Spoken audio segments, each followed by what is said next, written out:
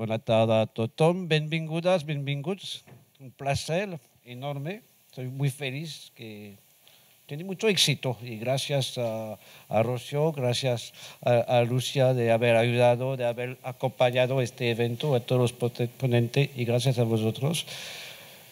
Esta pequeña reunión, esta invitación está motivada, como sabéis, solamente por la inauguración de una exposición que tiene mucho éxito sobre un gran marchand, Daniel Henri Kahnweiler. No es por primera vez que un museo hace exposiciones sobre un marchand. Se hizo exposición sobre Ambroise Vollard, sobre Pierre Matisse, sobre Daniel Cordier. Yo mismo hice una hace años sobre mi gran amiga Denise René, la papesse de, de, de l'art cinétique de Vasarely. Personaje fantástico. Se sabe que el mundo de las galerías acompaña el mundo del arte. Algo, estamos trabajando todos juntos, los artistas, los museos, las galerías, son muy complementarios y estoy muy contento que habéis contestado positivamente supongo que más gente van a venir para el pica pica y la visita de esta exposición. No hablaré mucho porque estáis aquí por eso. Solamente una pequeña paréntesis sobre esta exposición Kahnweiler. Como sabéis, a través de la prensa que tiene mucho éxito, el mes de diciembre, cuando se inauguró, ha sido el mes más visitado de toda la historia del museo. El año pasado ha sido un año formidable con 800.000 visitantes, con un porcentaje muy elevado de público de Barcelona, con más de 12%. Kahnweiler es una exposición, lo hablaremos después, y haré la visita, bastante excepcional por la calidad de los préstamos, que viene de una relación de complicidad con el Centre Pompidou, y con, con un, uh, un coleccionista para la, los coleccionistas también, y espero he dicho que se podía ver coleccionistas, son también un elemento tan clave dentro del mercado del arte y dentro del eh, mundo del arte, que presto todas las ediciones. Exposición excepcional por muchas razones, diré algunas, me olvidaré muchas, y necesaria, porque es una novela, una gran novela del siglo XX, a través de un personaje de una gran sensibilidad, muy culto, muy humilde, un paseur de l'art que ha sido el galerista del cubismo el que inventa la revolución de la pintura a partir de Demoiselle d'Avignon, que había visto en el taller de Picasso ya en 1907. Necesaria es una novela que empieza con el cubismo y que se acaba con Picasso. Estamos aquí en el Museo Picasso, el único museo que ha sido creado por Picasso, que no es solamente el museo del principio de su vida, de sus años de formación hasta la época azul, 17, por supuesto, con los ballets rusos, Las Meninas, es una propia creación del propio Picasso a partir de los años 50, en plena época del franquismo. Y eso lo debemos a Picasso y lo debemos a, también al mundo de las galerías, a la Sala Gaspar, entre otros, y a Daniel Henri Kahnweiler, que vino aquí en Barcelona ya en 1909, dos años después de haber conocido a Picasso, de haber empezado la revolución cubista con, junto con Braque, Picasso, Léger y Juan Gris, pero vino aquí para ver la familia de Pablo Picasso, vino a la Sala Párez para ver uh, donde Picasso expuso nueve años antes uh, aquí en Barcelona. Y en los años 50 vino, ha sido el gran intermedio, el gran interlocutor de Picasso para que las obras de Picasso se podían ver en nuestra ciudad ha sido también el que facilitó las donaciones. Sabemos que nosotros tenemos una colección enorme, magnífica, una más importante de, de, de obras gráficas que había dedicado a, a, Sabartés. Y después de la muerte de Sabartés es Kahnweiler que seguía mandando aquí. Vino muchas veces en Barcelona, dando conferencias en la Sala Gaspar, aquí mismo. Lo contaremos después visitando la exposición. Gracias a todos vosotros. Gracias, Rocío. Gracias, Lucia, gracias a los ponentes y es un día feliz. Y bueno, es una semana con tenemos invita, invitados de honor. Empezamos con vosotros y vamos a seguir con algunos ministros y hasta un presidente de la República Francesa que viene a ver la exposición Kahnweiler. Entonces, un honor, un placer et une, une joie de vous recevoir ce soir. Merci. Dejo la palabra a Rocío que empieza el primer debate. Muchas gracias, Emanuel. Yo quiero dar las gracias a, al Museo Picasso y a, al entusiasmo de, Manuel Guigón, su director, en el momento en que con Julia le propusimos estas jornadas. ¿no? Sobre todo la posibilidad de abrirnos la puerta del museo. Hoy es lunes, sabéis que el museo está cerrado y vamos a poder visitar la, exposición de Can Baylor eh, de la mano de Manuel. ¿no? bueno, lo encuentro formidable que, esto, que esto lo podamos hacer y que lo podamos repetir. Y ojalá también eh, este modelo podría ser un modelo para exportar en otras instituciones y museos. Pero sobre todo el motivo fue la, la figura de Campbell. ¿no? Era, era, era el, partir de, un marchante, de un galerista, para hablar de nosotros. Eso un poco fue como quisimos eh, proponer esta, esta jornada, ¿no? que sea, que sea un, un, diálogo entre nosotros, un diálogo rico, divertido, que nos lo pasemos bien y que, que entre todos, pues bueno, pues, pues lleguemos quizás a, a, algo o, o, simplemente eh, podamos eh, intercambiar opiniones diferentes y, y lo que os quiero decir, os quiero dar las gracias también a vosotros por, por vuestra presencia, vuestra muy numerosa presencia. ¿no? Y esto también eh, es una gran alegría, porque eso quiere decir que en realidad queremos vernos, queremos hablar, queremos saber qué pensamos los demás, qué, cómo vemos el momento y tenemos estas ganas de, pues, de comunicarnos entre nosotros. ¿no? Eh, estamos aquí, eh, los cinco. Eh, en mi lugar debería de estar Joan Gaspar, sin duda, y no puede ser. y en el lugar de, las personas que me acompañan, cualquier otro compañero, compañera, galerista podría estar, sobre todo entre vosotros. Hay personas que están haciendo un trabajo formidable, muy profesional, luchando en los mercados internacionales y, me gustaría mucho también que en el, turno, en el turno que hagamos un poco de debate posterior a, nuestra, a nuestro intercambio, que también eh, os sintierais partícipes y, y dierais vuestras opiniones. ¿no? Yo sobre todo esta primera, esta primera mesa la, la, la, la hemos pensado con Julia, ¿no? estas dos mesas diferentes, pero esta primera, sobre todo ha habido un, un, una visión que me gustaría mucho que, que la pudiéramos desarrollar que es eh, el marchante, el galerista, mucho más que simplemente un vendedor de obras. ¿no? Es decir, cómo Campbell eh, ilumina esta idea del editor, del marchante, del productor, del escritor, ¿no? es, algo, es mucho más que simplemente un, un vendedor de obras. ¿no? Y creo que es algo a reivindicar, creo que es algo a que todos pues, hablemos de nosotros y que, y que tengamos esta, estas ganas de transmitir otras muchas inquietudes que forman parte de nuestro trabajo y que muchas veces no se tienen en cuenta. Muchas veces la galería es pues, o pura especulación o un lugar donde, bueno, donde no pasa relativamente nada que aporte al mundo del arte. ¿no? Y, creo que, bueno, que eso no es así, creo que estamos de acuerdo, pero me gustaría, me gustaría que lo habláramos en diferentes, en diferentes casos. ¿no? También creo que es importante la reflexión de pensar que en esta exposición de Campbell las obras que veremos eh, han sido obras que habían estado antes eh, colgadas en las paredes de las tres galerías que Campbell tenía en París. ¿no? Y esto, bueno, es fundamental, ya lo sé, hay muchas cosas obvias que diré y que son fundamentales, pero, pero es verdad. ¿no? La obra que forma parte de muchas colecciones que vemos colgadas en muchos museos y especialmente estas obras magníficas, las, 100, los, eh, las obras, los 100 préstamos del Centro Pompidou, han estado anteriormente en una de las galerías de Campbell, si no son pues, la mayoría. ¿no? Y también es más, ¿no? la serie de las meninas, eh, Emmanuel, se expuso en París y Campbell sabía que no estaría a la venta, porque Picasso había eh, decidido donarla a Barcelona.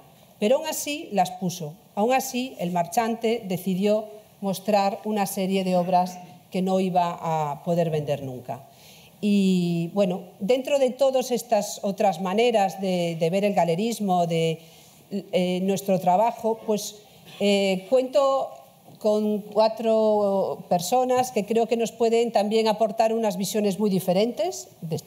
Ángeles de la Mota, no, no, nos voy a presentar porque nos conocemos perfectamente todos, pero sí es una persona que ha eh, pues ha cambiado su modelo, su modelo de galería, su modelo de, negocio por otro diferente y creo que es una voz interesante también, aparte de toda su trayectoria en el mundo del galerismo español y en el mundo del galerismo catalán y de Barcelona especialmente. Y creo que es una voz muy importante. Miguel Marcos, creo que ahora discutíamos de incluso la fecha de, de su primera galería en Madrid. Seguro que la primera galería en Barcelona fue en el año 80 ¿Eh? No, Eso sí, me lo dijiste. No, 98, 98. 98, vale. Barcelona 98. Bueno, y de allí nos fuimos a Madrid, ¿no? A Madrid en el año 86, de Zaragoza. No, no, hicimos el viaje a la capital antes.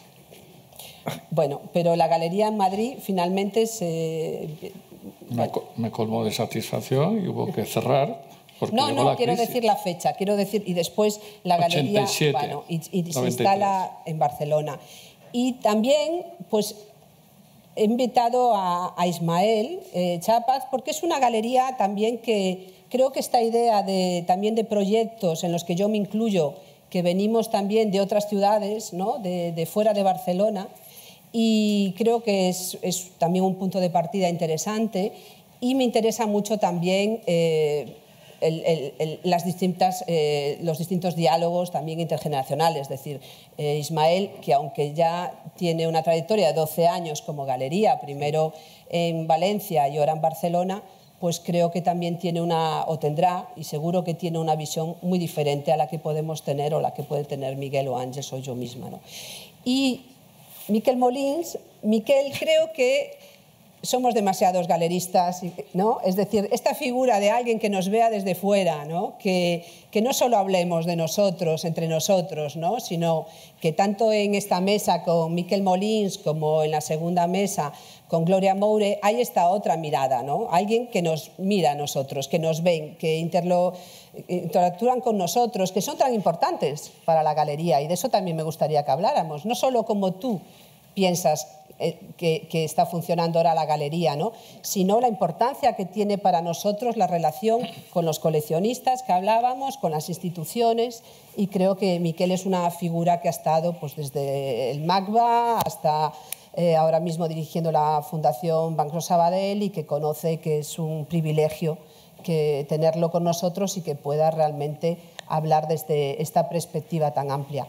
Y yo ya me callo, porque yo lo que quiero es que sobre todo hablan ellos y habléis vosotros, pero quiero empezar preguntando, y quiero empezar sobre todo eh, pidiendo a Ángels que nos explique un poco cuándo ella eh, decide cambiar, eh, de qué manera y cómo ahora está funcionando y cómo esto es una manera diferente o no a cómo tú funcionabas como galería y que ahora aparte eres comisaria, perdona, también de exposiciones, que era algo también que me interesaba mucho hablar de esta faceta tuya.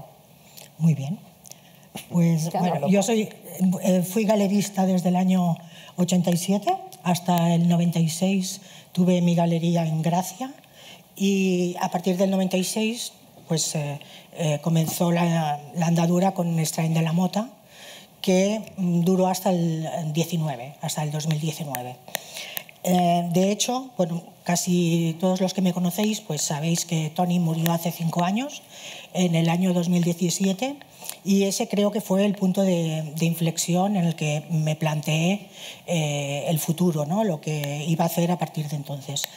Eh, yo creo que como todos vosotros pensamos que la galería siempre es eh, un lugar que se caracteriza o que se singulariza a través de la, de la mirada o de la óptica que aplica el galerista. Es decir, Casi mm, todas las galerías contemporáneas, o muchas de ellas, llevan el nombre de la persona eh, que las ha puesto en marcha.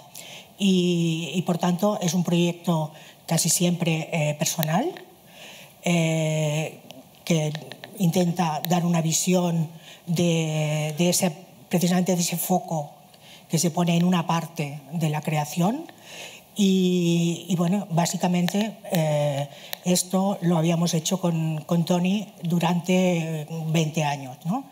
En el momento que él faltó, eh, me di cuenta de que precisamente nuestro proyecto era un proyecto donde se enfocaban dos, eh, dos lentes ¿no? y donde, donde realmente había una, una especie de, de, de tour de force ¿no? Eh, entre lo que yo entendía como, como, o lo que me interesaba del arte y la óptica que él aplicaba. Y esto, pues la verdad es que era bastante divertido, bastante rollo para los que trabajaban con nosotros, porque estábamos siempre discutiendo, pero mm, no sabemos por qué funcionó estas dos visiones tan diferentes. En el sentido de que Tony siempre fue un nómada, eh, para él eh, quedarse en, en, la galería no tenía ningún sentido, por tanto él era el que viajaba, el que se movía y yo he sido siempre mucho más sedentaria, por tanto mm, pues funcionaba ¿no? este, este tándem de que él era el que iba y luego explicaba cuando volvía ¿no? y, y, el que intentaba que, que, no, que no, quedáramos en, una cultura mmm, local, sino que eh, pudiéramos tener relación con el, con, el, con el exterior. En el momento que él faltó, mmm, con toda franqueza, os tengo que decir que la parte que él eh, hacía en la galería a mí no me interesaba, por tanto, era absurdo que yo me planteara las ferias, cuando no me, no me, gusta para nada esa parte del galerismo. ¿no?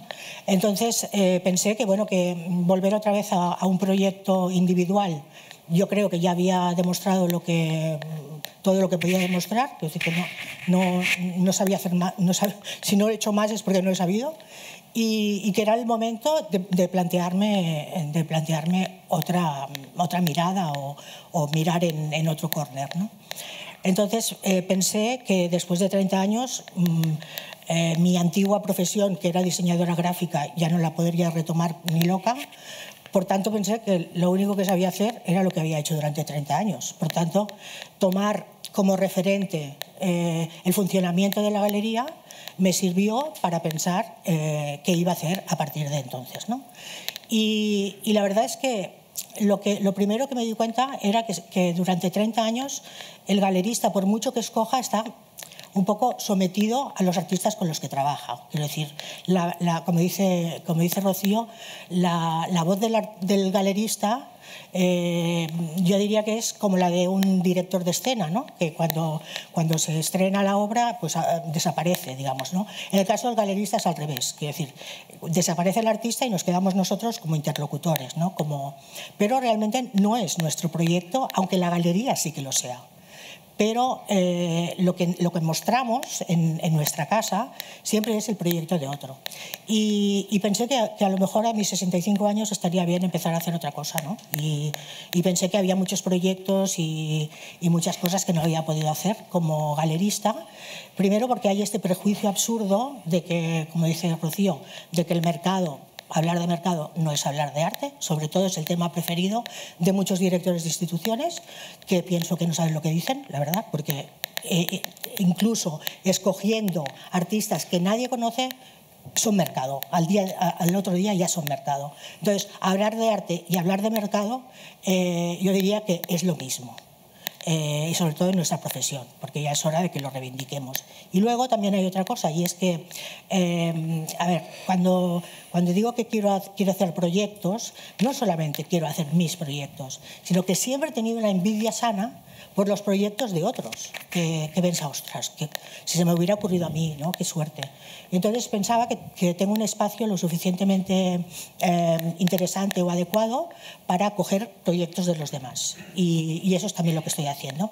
Además de, de la parte que, que hago, que también hacía antes como galerista, con la diferencia que ahora lo hago cobrando, ¿sabes? Que está bien, ¿no? Porque después de 30 años, la verdad. Entonces, esta parte que da igual, quiero decir, puedo asesorar colecciones, puedo tasar herencias, puedo mm, hacer lo que quieras, pero ahora cobro, paso un, una, una, un presupuesto y, la gente si le interesa lo hacen y si no, no. Cuando era galerista lo tenía que hacer por la cara, por la patilla y la verdad es que me parece que he hecho muy bien haciendo esto. Eh, y luego esta parte también de, de, comisariar. No es que tenga una vocación de, de comisaria, pero sí de sacar o de, levantar proyectos desde cero. Y eso también viene porque hemos trabajado mucho con, con artistas a los que hemos mmm, sacado de, de, de, cero. ¿no?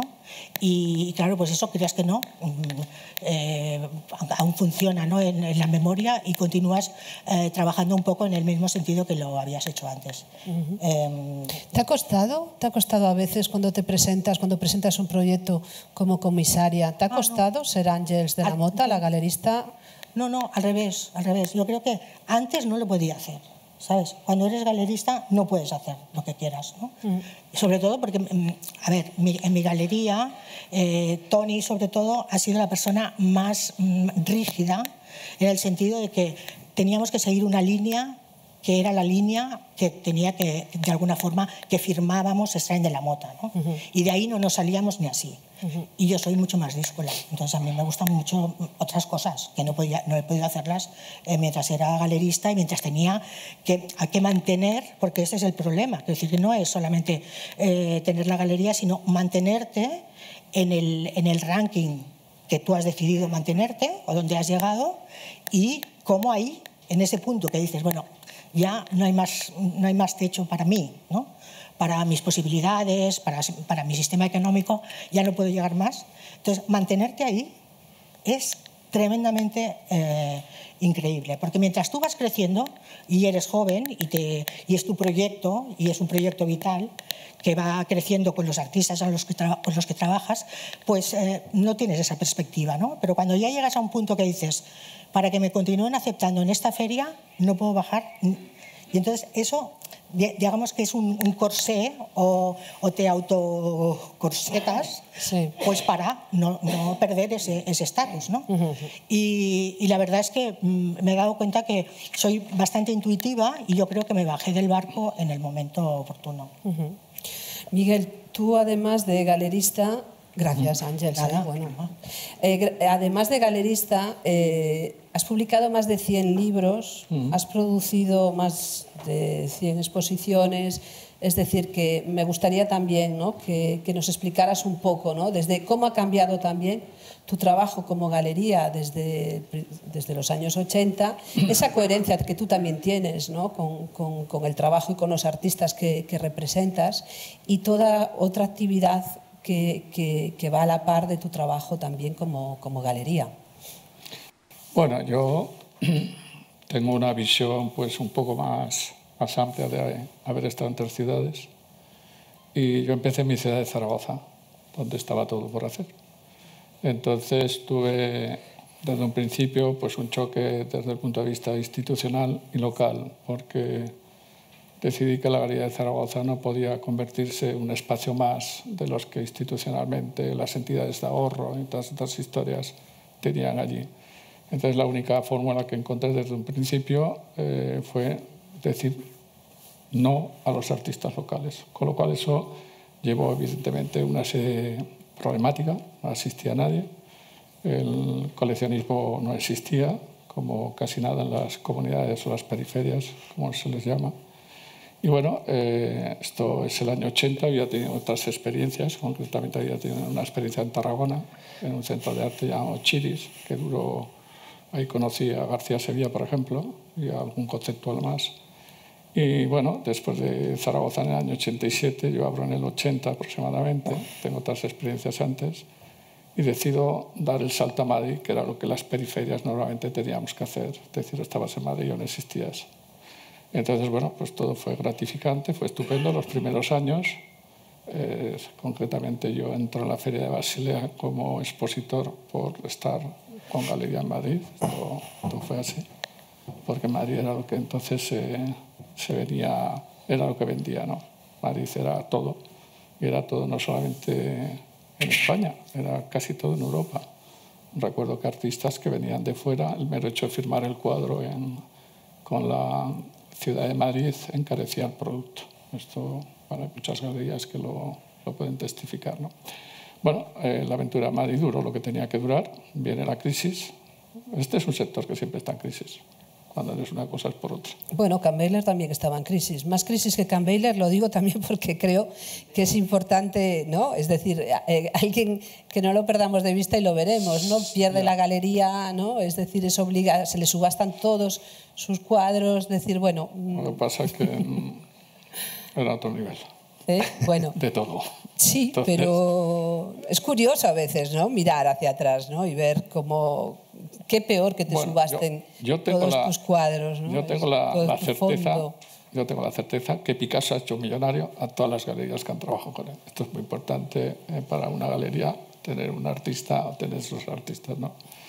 Entonces, siguiendo un poco en el relato, eh, pues nada, eh, evidentemente cerré la Galería Madrid, compaginaba las dos y eh, tuve una experiencia de carácter institucional que me duró 12 o 14 años, donde tuve la suerte de poder hacer exposiciones pues, en instituciones y en algunos museos. A partir de ahí, como un poco le quería comentar a, a, mi, a mi amiga Ángeles, que el problema de que una galería no le permitan o no le permitiesen aquellos años eh, su brazo extenderse como comisariado, que yo creo que ninguna galería en el fondo de mi época hemos sido o hemos querido ser comisarios. Solamente lo que hemos querido es que nuestro trabajo tuviese una resonancia también de carácter institucional, en principio porque el presupuesto ya no es el mismo.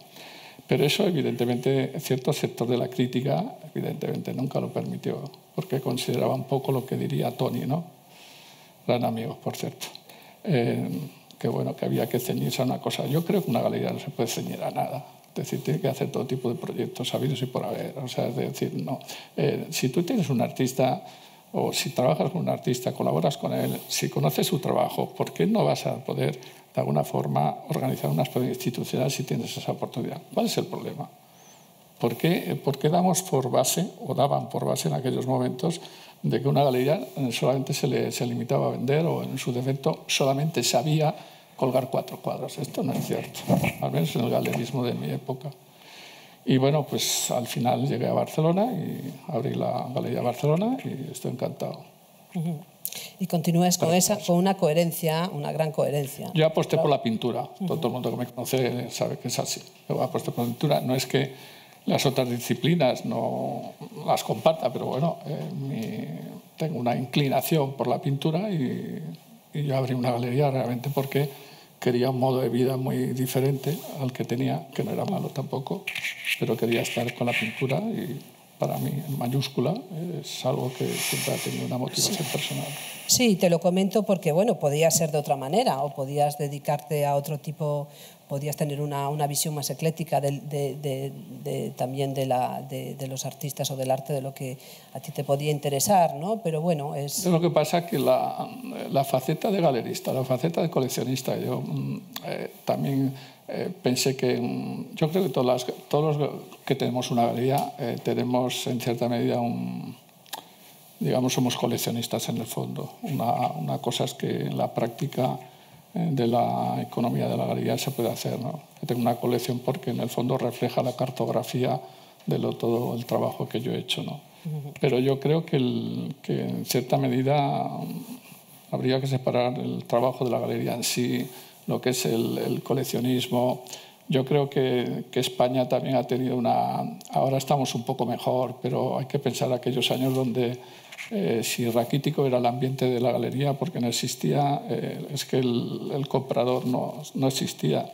Eh, luego también hay una cuestión, es muy bonito repasar la memoria del galerismo en general, ¿no? lo de Kahnweiler, pues es una difusión para nuestro propio trabajo. Esta exposición es importantísima porque evidentemente nos da a conocer el trabajo nuestro, lo va a dar a conocer un contexto de una sociedad que a lo mejor pues, pues no entiende lo que hacemos o considera que somos simples eh, vendedores de cuadros o de fotos o lo que sea. ¿no?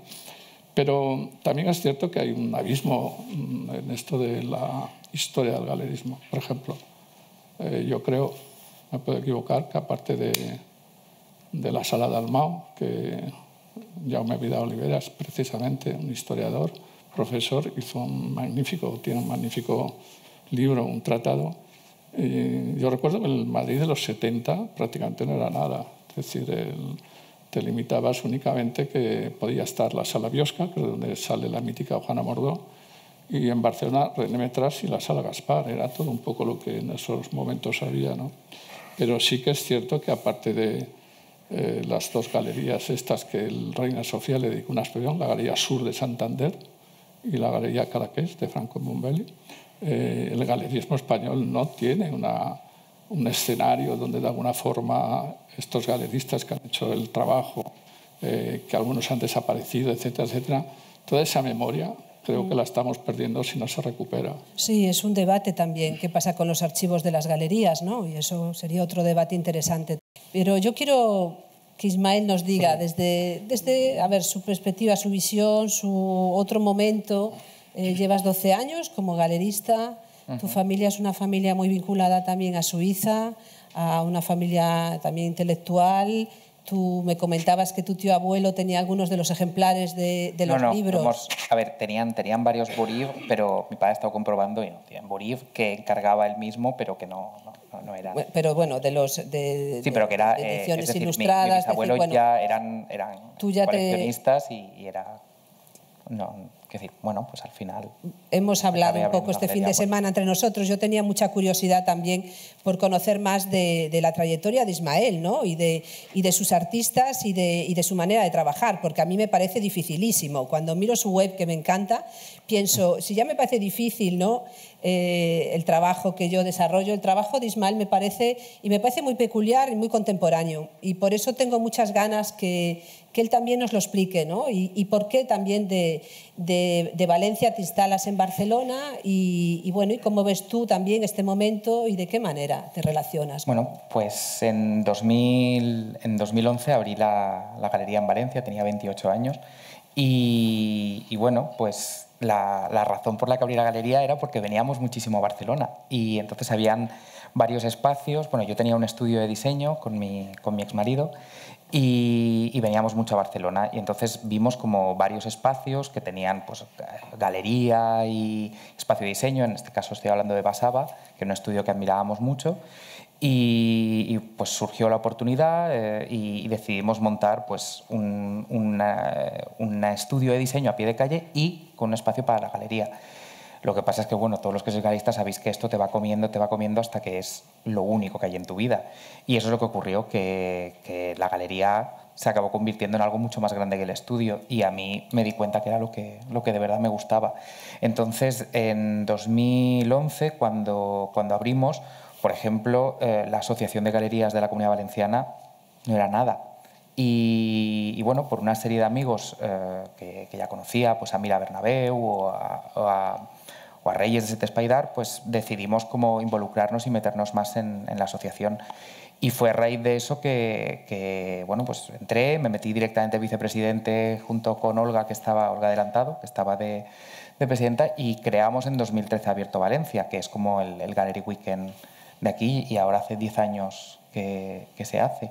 Y, fue un, una cosa que fue llevando a otra, porque en la galería a pie de calle que estaba en Ruzafa, eh, que es un, barrio de, Valencia, eh, la tuve siete años y en 2018 me di cuenta que, bueno, que había que ser un poquito quizá más exclusivo, buscar otro tipo de público y, y surgió la oportunidad de, montar la galería donde, donde la tengo de hoy, que es en la calle Caballeros, pues, pues como la, calle así, más importante de, del barrio eh, antiguo de Valencia. Y, en ese impasse, en ese, en ese año que estábamos de, obras, fue en 2018, eh, pues no teníamos espacio y fue un poco un problema y entonces eh, tengo aquí unos buenos amigos que son Turmis, que a día de hoy son mis socios en, en Barcelona, que me ofrecieron la posibilidad de, de, tener un espacio. Entonces, pues sin pensarlo, como solemos trabajar las galerías, que las cosas a veces salen así, eh, vine y, y monté el, el, el, espacio y bueno, recuerdo que al principio mucha gente se creía que era, un, que era una pop-up y como que lo hacían de menos.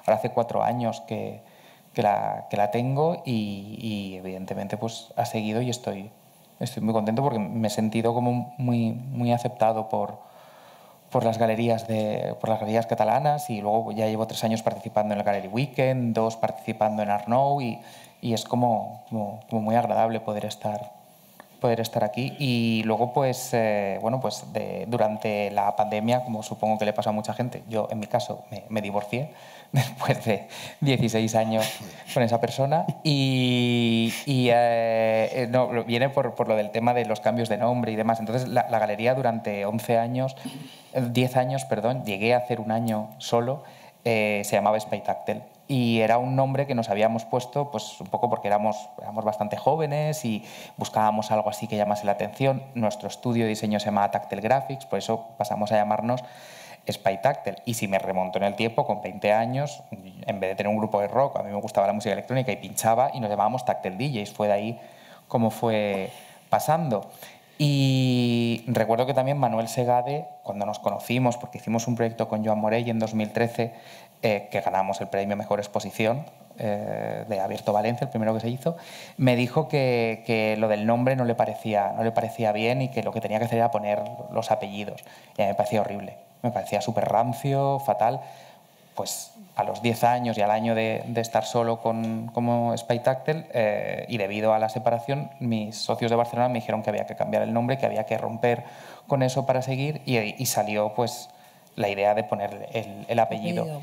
Pero poner Chapaz Gallery pues era como que no, no, me gustaba. Y, bueno, pues a raíz un poco del de, de tipo de, artistas que llevo y el tipo de, temáticas que, tratamos, que bueno, hay muchas cosas vinculadas pues, con el colectivo LGTBIQ, con feminismo, la modernidad, etc., pues salió lo del tema de las houses de voguing, que empezó como una broma a llamarlo House of Chapat, y al final pues preguntamos a nuestros artistas y les pareció genial. Y de ahí salió el nombre. ¿Y tú cómo lo ves, Miquel? ¿Cómo ves? yo, yo cómo, ¿Cómo ves? Yo Cuéntanos. Cómo, cómo, Cuéntame, ¿Cómo nos ves? ¿Cómo ves esta...? No, de entrada diré que, a ver, me gusta, me gusta esto de la trobada de galeristas, porque creo que si hubieras puesto trobada de galerías hubiera sido complicado, porque ¿qué es una galería? No sé, en este momento no sé qué es una galería. Uh -huh. Creo que hay galeristas, lo habéis dicho todos, o, o Ángels lo ha dicho al principio, ¿no? Es decir, yo creo que cada galería es distinta y dependiendo, digamos, sí, aquí tenemos tres y las tres son muy diferentes. En el caso de Miguel Marcos, evidentemente Miguel es muy antiguo y en este sentido, decir, él continúa con la idea del medio. Eh, las obras de arte y, y, las galerías y los museos se definían antaño, se definían desde un punto de vista material, físico. Y en este caso, el medio definía también la galería. ¿Esto y es el, una crítica? ¿Eh? ¿Esto es una crítica o una observación? No, no, no es, es, simplemente situar las cosas en su lugar. ¿eh? Y en todo caso es esto, es decir, la, el, el, el, museo, es decir, la galería o el estudio del artista van ligado a esta idea del, del arte como medio y por tanto como fisicidad, que es muy distinto de lo que plantea, lo que plantea uh, Ángels con la idea del proyecto, o, o Ismael, que hablan de proyectos, ya se acabó el medio. Y como se acabó el medio, también se acabaron o se transformaron, se han modificado radicalmente lo que eran los espacios del arte. Y en este sentido el museo evidentemente se ha transformado, decir, hasta, hasta extremos que, no, que podemos, podemos discutir, pero en todo caso imaginamos fácilmente lo mismo que la galería o lo mismo que, etc. Es decir, uh, Ismael habla, por ejemplo, de un tipo de galería que en yo creo que es en los 90, decir, uh, empieza a funcionar como, uh, también como consecuencia de la propia de la propia difusión en el sentido decir, de, del crecimiento de los espacios que podríamos decir alternativos. ¿Eh? Y en este sentido la idea de él uh, no era ya galería, sino que era uh, tienda de arte y diseño. ¿no? Es decir, y en este sentido tú has dicho que... Bueno, empezaste... eso fue, eso fue mi, el, el, principio que derivó totalmente en galería de arte. Pero empezaste ahora... en aquel momento como sí, sí, empezaron sí. en muchos sitios. Y, y, y, hay un tipo de galerismo en el que pues, el, la, la, pintura se acompaña de la, de la moqueta y se acompaña del mueble, digamos, no sé qué decir, vintage, ¿eh? y, este es un, un, tipo de galería. O sea, de entrada diría esta cosa. Como veo, veo que realmente, digamos, hay tantas galerías, tantas galerías como galeristas, ¿eh? y que en definitiva lo que, de lo que se puede hablar es de galeristas, más que de galerías. Y en este, que también evidentemente se puede hablar de galerías, porque hay quienes venden cuadros, hay quienes no sé qué, es decir, hay mucho tipo de galerismo. Es muy difícil definir lo que es una galería, lo mismo que definir lo que es un museo. Es decir, yo me veo incapaz de definir qué es hoy un museo, más allá de saber que cada equipo cada, museo, cada museal, es decir, define el propio museo. Es decir, y como, pero en definitiva hay una diversidad muy grande. Seguramente como consecuencia también, y yo creo que hay varios factores y es los que me gustaría, actúo más como historiador que como otra cosa hoy aquí. ¿eh? Es decir, y, es la manera en que puedo veros, porque no, desde el título personal la cosa es muy distinta porque hay mucha familiaridad y muchas relaciones de amistad.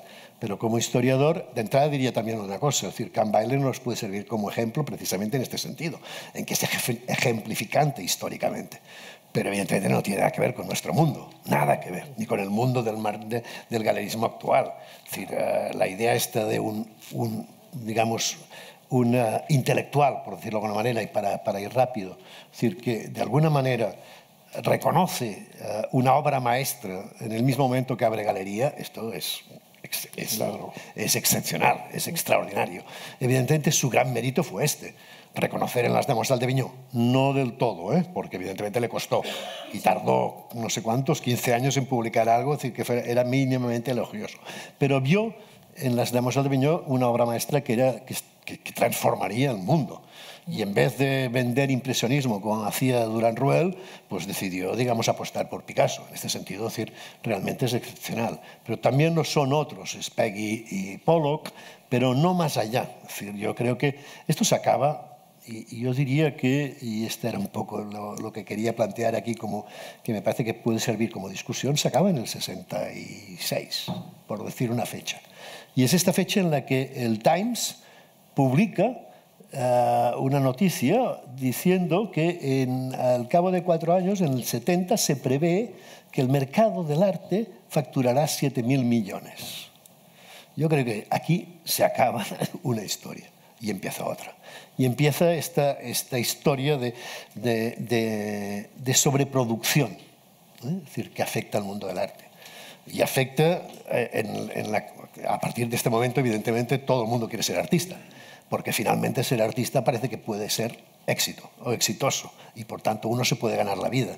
Es decir, pero también a partir de este momento, eh, evidentemente los museos piensan más en la temporalidad que en la historia y piensan en hacer exposiciones cada vez más grandes, más caras, pero que que de alguna manera son más taquilleras y por tanto dan más recursos.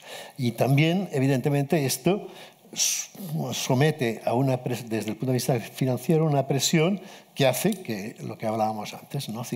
que, de alguna manera pues, mm, las instalaciones y las exposiciones progresivamente sean sustituidas por, por otros espacios alternativos. Es decir, ya no es el museo, la galería o el estudio, sino que son espacios muy distintos. Es decir, eh, y evidentemente detrás de estos espacios muy distintos hay una, una oportunidad comercial. ¿eh?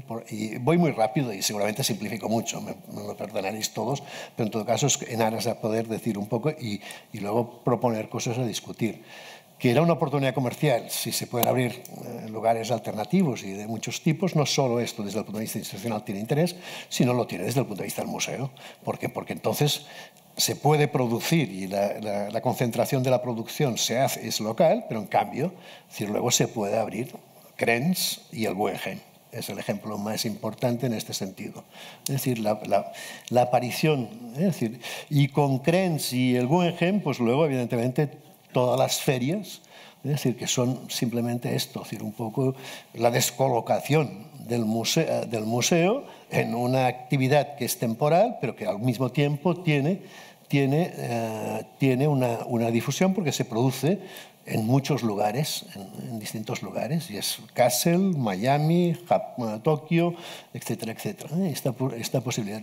Bueno, todo esto afecta evidentemente, es decir, por tanto, yo creo que hay aquí, tanto desde el punto de vista del propio arte que y, y, o sea, hay dos cosas que son importantes. La, la, la industrialización del mundo del arte, es decir, lo que sí que es una novedad es que la obra de arte sea un producto y sea una mercancía, digamos, y, y luego como efecto de, de, esta, de, esta, de esta presión, presión financiera, el hecho de la conversión es decir, del, del museo en espectáculo y con el museo de todo lo demás.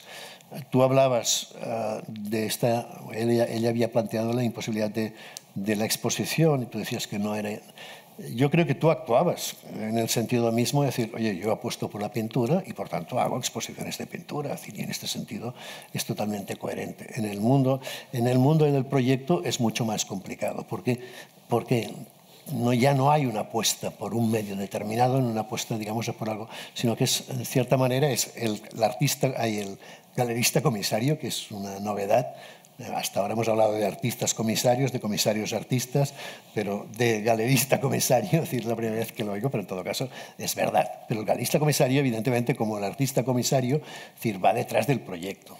Y este proyecto tiene, lugar, y nunca mejor dicho, tiene lugar en, en este tipo de, espacios alternativos que no son precisamente el espacio de la galería o el espacio del, museo tradicional. Y, y, no sé qué más podría decir, pero en todo caso, uh, no sé. Decir, bueno, evidentemente hay cosas que relacionadas con estas, que es el, el, la crisis del concepto de estilo. Es decir, Kahnweiler es, es, el cubismo, Durán es el impresionismo, es decir, uh, Peggy y Parsons es el, el, informa, el informalismo abstracto uh, uh, y el pop y el minimal es y ahora no me sale. Castelli. ¿Eh? Castelli. ¿Eh? Castelli. Y, mm, y, podríamos decir, pues Cuenca es, es uh, el arte abstracto español y podríamos decir, pues que para decir un catalán, pues que Metrás, Metrás es, es el Dau al set, pero poca cosa más. Y, y en la medida que es saltamos de los, si esto es complicado desde los, en la posguerra, desde ya desde los 50 hacia aquí, evidentemente es, muy, es mucho más complicado. Ya no hay posibilidad de identificación con un estilo, ni, ni, y en todo caso, decir, eh, incluso esto afecta desde el punto de vista del coleccionismo. Es decir, hoy es muy difícil hacer una colección. Es, podemos decir, imposible en el sentido que se entiende la colección en la época de Kahnweiler. Tú puedes coleccionar el cubismo, pero es decir, viendo hoy los millones, por decirlo, quizá exagero, pero de artistas y de obras y de eh, es imposible decir, coleccionar, decir, eh, al menos en el sentido, en el sentido general. Puedes, puedes comprar e intentar comprar cosas de calidad y conseguir algo que visiblemente se aguante o que tenga una cierta homogeneidad, pero es complicado la idea de colección pensada como acumulación de unas obras eh, dentro de una serie que es finita porque esto es coleccionar. Coleccionar cromos quiere decir tener un álbum y tener un número de cromos, y cuando terminabas los números de, el número de cromos, terminabas el álbum y la colección, y volvías con otra colección. Pero si este álbum es infinito, es imposible, digamos, terminar la colección. ¿eh? Entonces, ¿cuál es la mejor colección? Porque, por otra parte, evidentemente, la idea de obra maestra ha desaparecido. Entonces, dentro de las obras que puede hacer un Kiefer, pues hay mejores, peores, pero no hay la obra, en el sentido de decir, esta es la que yo quiero como colección. Tampoco yo creo que haya, eh, dice Kahnweiler, no sé, director si es verdad o no, si se lo puedo atribuir a Kahnweiler o no, pero parece que él era decir, esto del el coleccionismo es una pasión privada. ¿no? Eh, yo creo que lo mismo que las galerías, a diferencia de la época de Kahnweiler, que él ha dicho, era discreto y nunca hizo exposiciones de las obras de sus artistas. Y no las quería hacer porque precisamente por esta intimidad que creía que se había de preservar en el mundo del arte. A partir de los 50, al contrario. El mundo del arte es un mundo que se exhibe constantemente. Y, la, idea de la galería de la galería también cambia en el sentido precisamente esto. No es tanto un promotor de artistas como, es decir, como, como sí, pero en el sentido este de, exposiciones. ¿no? Bueno, es igual, paro aquí. ¿Eh? pero creo que esta es un poco el, la reflexión, ¿no? es decir, el, el, intentar, el intentar ver cuál es la función hoy, si hay una sola función, que yo creo que no, ¿eh? que yo creo que hay tantas, insisto, como, ¿eh? es decir, como personas que se dedican algunas con más talento, otros con menos talento. También Kahnweiler decía que el único, lo único que tenía que tener un galerista era talento financiero, ¿no? O talento, como lo decía, talento por los negocios eh, por los negocios. Yo no sé si hoy un galerista se define precisamente por el talento de los negocios o hay otros atributos. Eh, no Estaba también la constancia, la estabilidad y la resistencia. Sí, pero esto para cualquier, para cualquier oficio, yo diría. Especialmente eh, yo creo que para nuestro también. ¿eh? Para cualquier oficio. Pero en cambio el talento por los negocios es realmente dices, bueno, yo no sé si es, hoy es el, el, el, elemento fundamental que define. No sé si tú eres... Tú lo... Juana, Juana, ¿Eh? Juana, tú no tienes talento por los negocios. Juana? De Aispuro. De Aispuro.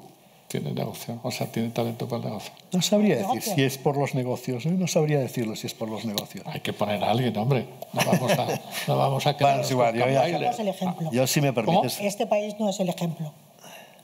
Tenemos que poner alguno. Bueno, pero es que en este país también es difícil decir, claro, tú has dicho, no hay un galerismo, no, hay un coleccionismo, eh, evidentemente no hay un sistema de mercado articulado.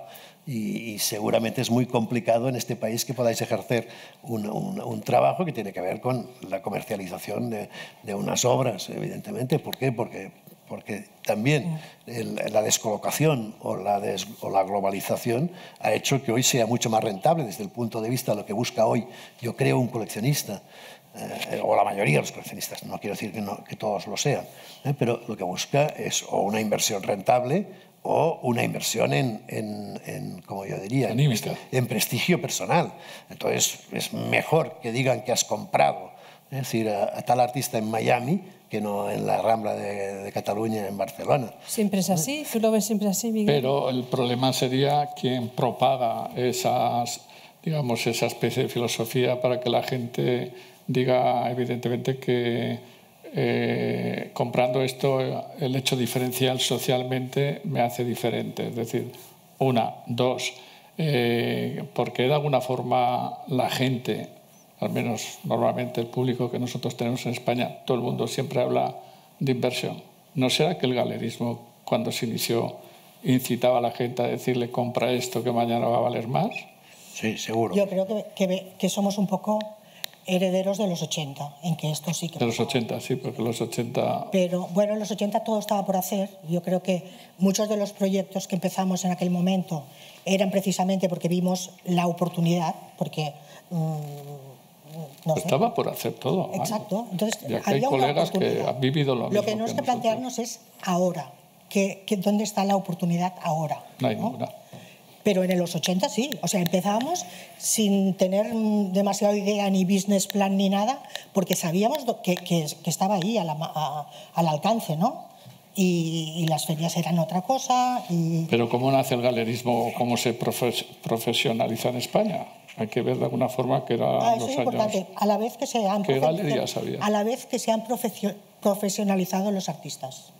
Yo creo que este Estaríamos ha sido un de cambio de ser unos cumbayas a, a, ser profesionales. Ha habido aquí un... Bueno, mi padre siempre decía que, que el máster más caro que había visto en su vida era el mío, ¿sabes? Pero antes Eh, hablaba más de lo que... o sea que siete años de galería, para mi padre era un máster que me podía haber enviado No, a, pero- Estados, a Estados Unidos. Bueno, yo no sé, pero evidentemente en España ha habido, decir, marchands han habido y los hubieron. Tú has hablado decir, en la época del modernismo y en la época poco, porque realmente digamos el, el, el coleccionista era, era poco y seguramente en aquel momento solo de arte español o catalán, digamos, y, y no y no internacional, pero luego han habido nombres, hay nombres, Juana Mordó, pero hay, hay gente, ¿eh? el mismo, el mismo decir, Riera, hay nombres vinculados a movimientos y vinculados y, en cierta manera coleccionistas, o sea que los hay. Hay una tradición, lo que pasa es muy, muy, muy local y muy, muy pobre, ¿no? Muy pobre. Pero luego yo creo que lo importante no es tanto si existe esto o no, como el hecho, esto de que cambia, de que tú no, no coleccionas que a lo mejor también lo haces por inversión, pero lo haces por pasión privada o directamente ya porque es una cuestión de prestigio. Yo, me, dijo, me dijo un coleccionista, me dice, no, dices que, bueno, esta cosa que se dice ahora, ¿no? porque también va muy ligada al hecho de los proyectos, ¿no? es, muy, es muy interesante. A este artista, a esta artista, no a esta obra, a esta artista la seguimos desde hace mucho tiempo. O sea, ahora ya se siguen a los artistas, no se compran obras, se sigue a los artistas. ¿Eh? y las seguimos desde hace mucho tiempo. Y luego te añade que evidentemente decir, oye, es que esto nos hace estar ya en la primera línea, ¿eh? es decir, nos invitan en, to en todas las ferias, claro, como coleccionistas. O sea que la idea del prestigio vinculada es evidente. Eh, también hay otra, otra, que es un poco lo que toca el coleccionismo institucional, que es blanquear, blanquear la imagen. Es decir, evidentemente esto va ligado al, blanqueo de la imagen. Es decir, ¿cómo puede ser bueno? Como siempre. Decir, el mecenas es invierte en, arte o invierte en belleza porque por blanquearla. Y evidentemente, y esto sucede. Pero la parte esta de pasión privada, Yo creo que no, porque, y, es que lo que compruebo es que los, los coleccionistas cada vez exhiben más. Y esta cosa de tener que abrir grandes galerías eh, y no sé qué en lugares públicos para poder enseñar las colecciones, esto es a partir de los 60, no antes. Yo creo que las colecciones, primero, eh, han tenido que especializarse precisamente por esta eh, proliferación. ¿no? De, eso se acabó en el mínimo, se acabó con el mínimo y con panza. No, no, vuelven otra vez, pero de una forma distinta, pero las colecciones, para singularizarse, tienen que hacer casi como las galerías, o sea, especializarse en algo que sea que lo singularice, ¿no? Y, ¿qué iba a decir más? Eh, tenía la punta de la lengua y se me ha ido. Mis agujeros, mis agujeros negros. A ver, bueno, seguid vosotros, que ya, ya me saldrá ya. No, es que claro, trasladar en los tiempos de... Ah, ya sí, ya sí. trasladar los tiempos atrás ya no tiene mucho sentido. Y luego... El tema de todo esto es que hay un exceso, hay un exceso de todo, ya está. Claro. Entonces, un exceso de todo es muy complicado. Cambaile tenía seis galerías en París. O sea, imagínate qué competencia, ninguna. Pero tú sabes que Campbell casi no tenía eh, clientes en, en, Francia. Sus clientes eran estaban en Estados era millonario. Es que claro, bueno, eh, estamos hablando que de acuerdo que es un mito para nosotros, ¿no? Pero también tenemos que situarnos en, en que a lo mejor eh, sí. No, no, que digo que eh, estaba, estábamos hablando de así ah, de Campbell que tenía unas connotaciones que no eran las nuestras ni las de este momento. sobre todo por esto por esta proliferación en todos los sentidos de espacios museos artistas etcétera etcétera y, luego también que las, las, colecciones como decía antes Miguel que yo, yo haría una, una, una vamos diferenciaría en lo que es un coleccionista de lo que es una, un acumulador porque muchas de las colecciones que hemos hecho en este, país son es una, incluso se están haciendo ahora y, no hace falta que, que os diga mm, por dónde voy, es una acumulación de obras. O sea, hay gente que incluso hace mm, colección de la A a la Z de artistas catalanes, por ejemplo, ¿no? Pues eso es un acumulador, no es un coleccionista, ¿verdad?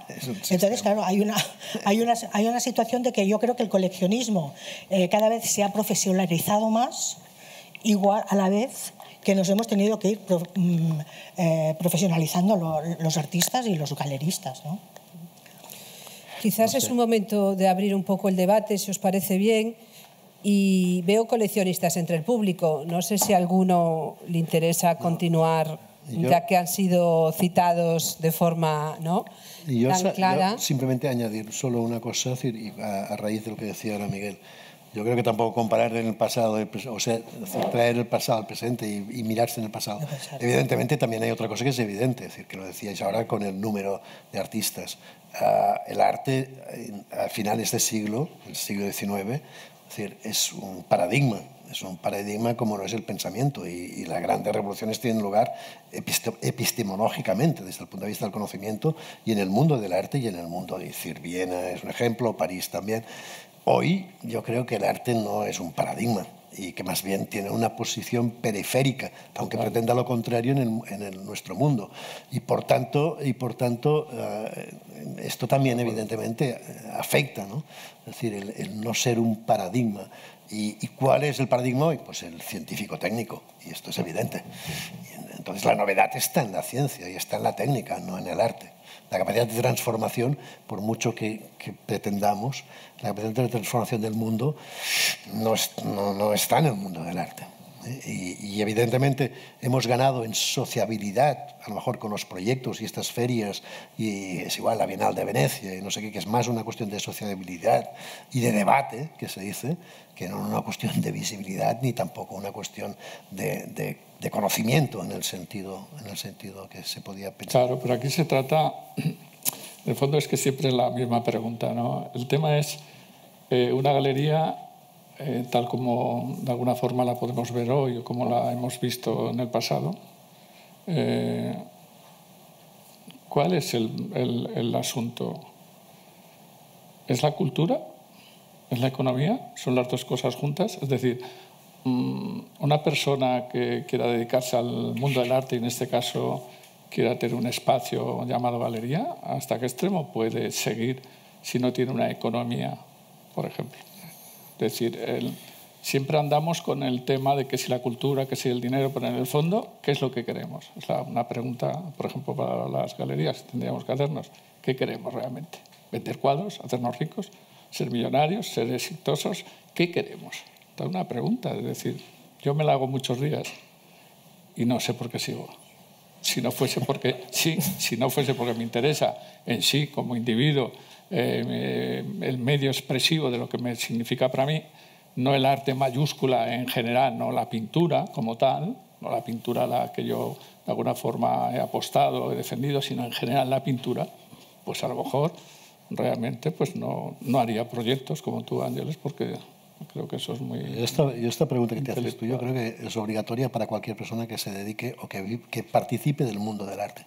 Desde el historiador al crítico, al director de museo. decir, como crítico, decir, ¿cómo, ¿cómo puedo yo criticar esta multiplicidad hoy?